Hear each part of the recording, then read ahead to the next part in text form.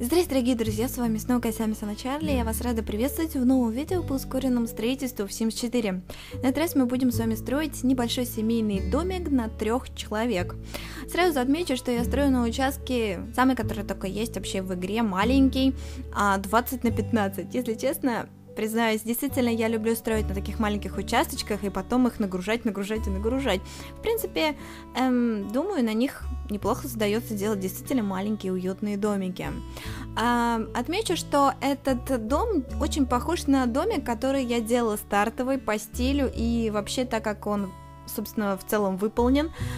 Я думаю, это все получилось из-за того, что вы не думаете, типа, вот Аня там не может придумать никакой, а нет фантазии и прочее. На самом деле все получилось именно по тому поводу, что я просто хотела выдержать, чтобы эти домики были специально для вот района, вот в том, котором я строила, как раз это такой бедный, можно сказать, или промышленный район Willow Creek, там, где, соответственно, находятся вот эти вот участочки 20 на 15, вот, и я решила как-то вот выдержать в единой стилистике именно именно вот этот район. Домик сначала задумался, и вообще я делала его как а, по плану обычного какого-то типичного, знаете, такого удачного немножко домика, вот, который вообще вы можете встретить у нас, например, на, в дачных поселках и прочем.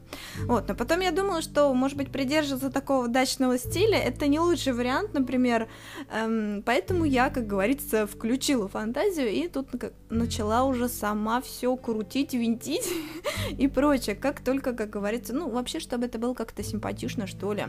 В итоге таким образом у меня получилось, выстроилась уже само собой а, стена, как вы можете заметить, для камина, то есть вот воздуховодная труба. А, вот, точнее сказать, дымоходная труба.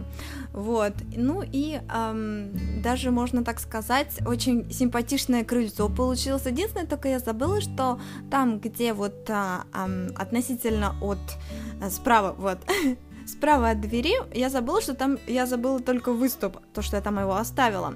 Ну, как говорится, это потом вы можете убрать или его оставить, или, в общем, как хотите в этом отношении, потому что, в принципе, Эм, по-моему, если правильно я помню, э, этот выступ мне еще понадобился в строительстве. Ну, на данный момент вы можете заметить, что я кручу, просто верчу этот домик, чтобы сделать его действительно каким-то симпатичным. Мне очень понравилось, как выполнен именно второй этаж, потому что мне хотелось создать действительно, что крыльцо, как бы оно проходное вот такое, то есть насквозь, таким вот образом, чтобы от входа можно было спокойно идти на задний двор, то есть не проходя через дом. В этом отношении это действительно дом. Эм, хочется сразу отметить, что этот дом, скорее всего, предназначен для семьи, которая хочет, которая очень любит гостей, потому что по гостиной вы это еще поймете, но в то же время она очень ценит уединение с природой. Сейчас я на данный момент я просто занята расположением и уже конкретно почти завершением планировки в целом дома. Вот, действительно, мне понравилось, в принципе, как я уже его сделала, мне очень понравилось вот это вот крыльцо. В принципе, если так смотреть, то в целом домик действительно получился какого-то чисто такого американского или смесь какого-то американо-скандинавского стиля а, с белыми, соответственно, карнизами, с белыми эм, украшениями для крыш и вообще вот этими выступами для стен. Ну и, соответственно, крыльцо, то, что такое чисто вот прям немножко в американском стиле получилось. Вот, как-то на самом деле, правда, интересно. Вроде я начинала действительно с планировки такого русского дачного домика и закончила действительно каким-то американским стилем. Но опять-таки я напоминаю, что действительно в Симсе сейчас э, в данном случае только вот именно предметы есть только для строительства, как правило, именно таких домиков. Вот, ну, в Америке все-таки действительно эклектика, и можно иногда такие предметы, штучки сделать, что это тоже, как говорится, эм, играет на руку.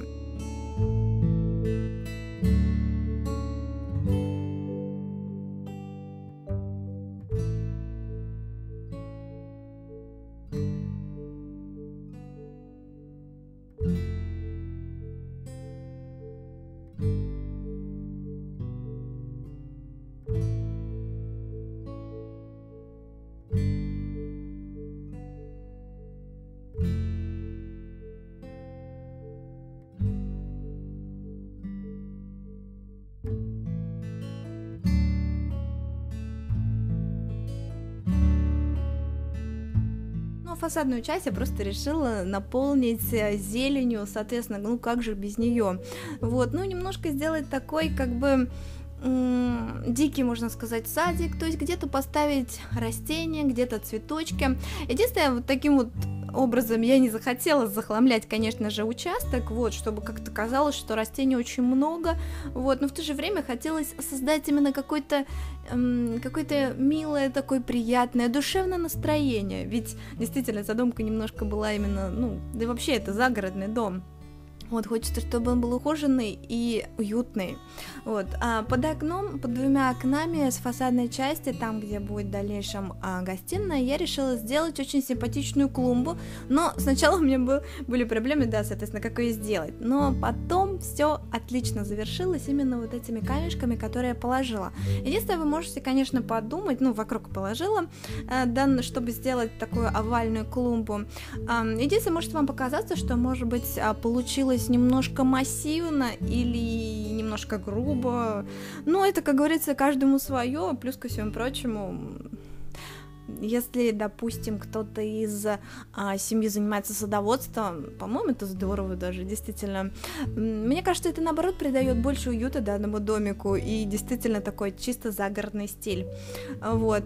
Единственное, если смотреть, то я боялась, что по планировке, хоть участок и маленький, дом получается еще меньше, потому что если вспомните, как я строила когда стартовый домик, в принципе, если планировку, то есть по плану смотреть, он относительно большой, вот, но сделано в один этаж. Здесь получается два этажа, ну и плюс ко всему прочему, эм, я сделала крыльцо, вот. То есть площадь, получается, она еще уменьшается. И в этом отношении у меня, конечно же, был, возникла проблема именно вообще даже вот что на первом этаже, что на втором. То есть а, как размещать предметы, чтобы это было более-менее гармонично. Вот. Ну, я думаю, к плану мы немножко перейдем погодя. Сейчас, конечно же, это задний двор. Мне очень хотелось именно сделать задний двор действительно уютным, что здесь люди проводят время, и как вы могли заметить, я действительно выстроила по периметру зелень, то есть, эм, можно сказать, такой даже зеленую ограду. Вот. Все это сделано было специально, потому что мне как-то хотелось вот именно оградить, вот сделать это такой, таким уютным местечком, и плюс ко всему прочему, если, учитывая тот участочек, на котором я строила, то сзади идет, получается, как речка, вот, и буквально через эту речку, через дорогу, да, грубо говоря, там идут другие домики. И вот таким вот образом мне хотелось действительно создать уютное гнездышко, чтобы никто не смог нормально, ну, так вот, чтобы никто не смог подсматривать вообще, чем же занимаются наши э, вообще данная семья. Вот, ну, семья, которая живет в этом домике. Вот, ну, а потом дальше это идет просто расстановка небольших акцентов, соответственно, покраска и еще больше-больше цветочков. Я очень честно признаюсь, как вы могли, наверное, заметить, я люблю красить именно подкрашивать темным, то есть э, расставлять акценты, что именно здесь темным цветом, то есть я имею в виду темную почву. Вот, расставляя акценты именно тем, что вот здесь вот в данном случае там что-то растет или еще что-то, вот, или это было, как говорится, недавно посажено и так далее. Ну и как я сказала ранее, здесь уже дальше идет просто расстановка акцентов.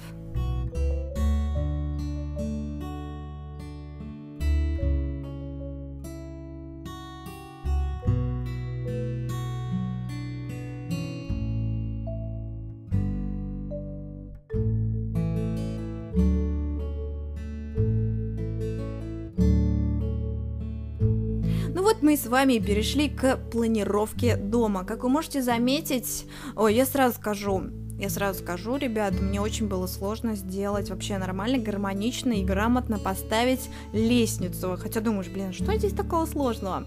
Вот, все дело заключается в том, что как я ее не ставила, эм, то на втором этаже мне не получалось нормально поставить кровать.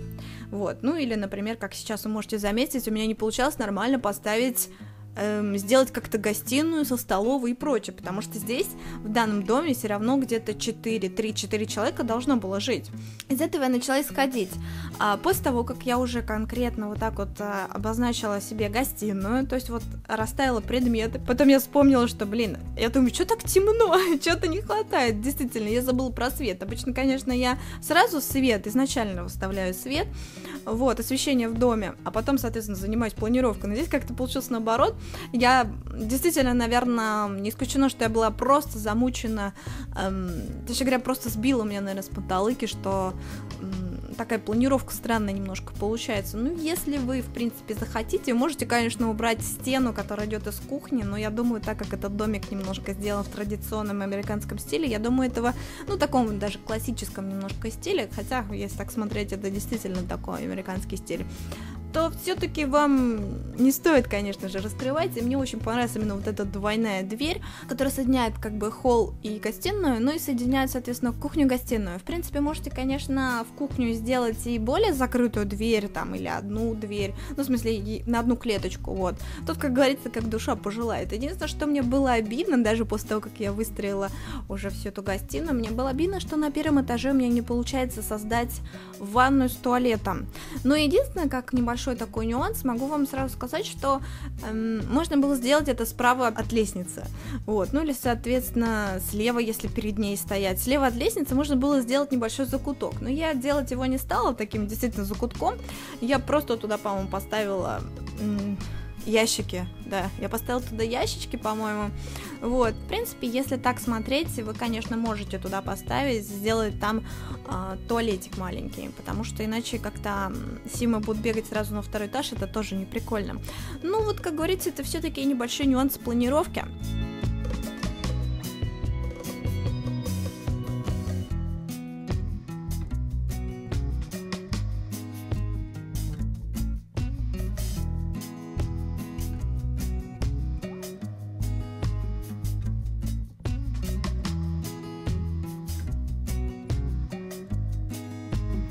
Ну а что касается кухни, я решила сделать ее действительно немножко в таком деревенском стиле. Я не стала действительно тратить денег на этом, прям много, делать ее слишком шикарной, потому что как-то мне хотелось действительно создать немножко такую дачную, загородную атмосферу.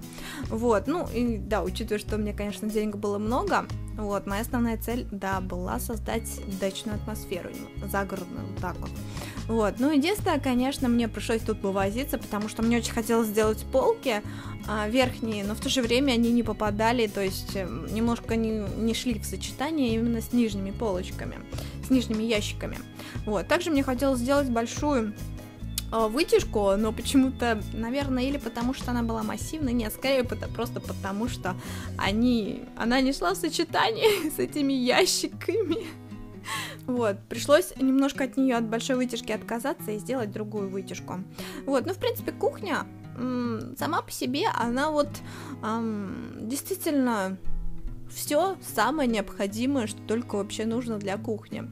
Не исключено, может быть, что и в этом доме, может быть, какая-то пожилая семья, допустим, живет. Не могу точно сказать. Или, например, наоборот, молодые, может быть, которые въехали сюда там не могу точно сказать, но когда я перешла только на второй этаж, эм, вот я начала какую-то идею преследовать, потому что обычно я напоминаю, что иногда бывает строю дома просто так, типа ванная на первом этаже, допустим, ванная на втором этаже, и они почти одинаковые.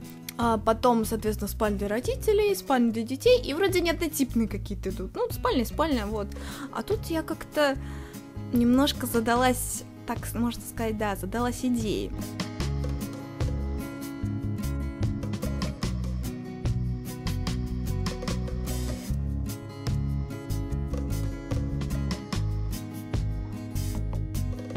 Вот, мои хорошие, мы с вами наконец-то перешли на второй этаж, и сейчас хочу уже конкретно здесь вот уже поговорить именно о втором этаже, потому что идея как раз зародилась именно на втором этаже, для кого вообще эм, этот дом.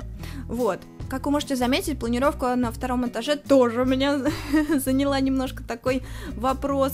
То есть, как мне было правильно все это расположить и удобно, вот. Поэтому я разместила, соответственно, кровати, как вы можете заметить, там, где еще даже такие голые стены. Вот, чтобы точно знать, как что проходит и более-менее грамотно вообще это все расположено.